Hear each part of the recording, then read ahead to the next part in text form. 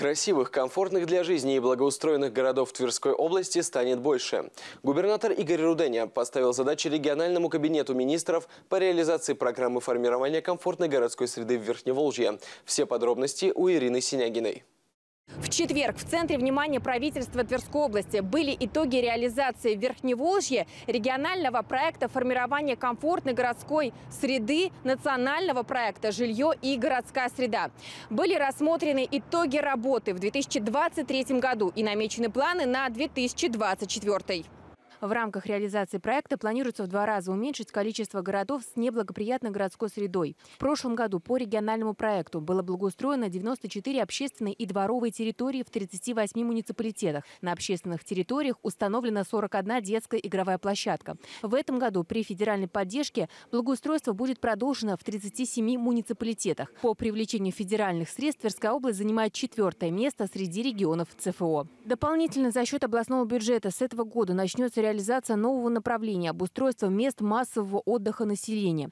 В муниципалитетах будут последовательно преображаться городские парки, скверы и другие озелененные территории. В Твери начнется благоустройство ландшафтного парка Затверечья. Также Тверской регион активно участвует в всероссийском конкурсе лучших проектов создания комфортной городской среды в малых городах и исторических поселениях. Он стартовал в 2018 году по поручению президента Владимира Путина и его решением продлен до 2030 года. Глава региона отметил, отметил, в этом году необходимо обеспечить участие в конкурсе новых муниципалитетов. В 2023 было реализовано четыре проекта победителя. В Вышнем Волочке обновлен городской сад. В Кашине выполнено благоустройство части набережной реки Кашинки. В Кимрах обустроена пешеходная зона по улице Кирова. В Удомле завершен второй этап благоустройства парковой зоны по улице Венецианова. В 2024-2025 годах будет реализовано еще 9 проектов победителей 7 и 8 седьмого всероссийских конкурсов. А для того, чтобы красивых и благоустроенных городов Тверской области было больше, в регионе будет создан второй институт развития средних и малых городов.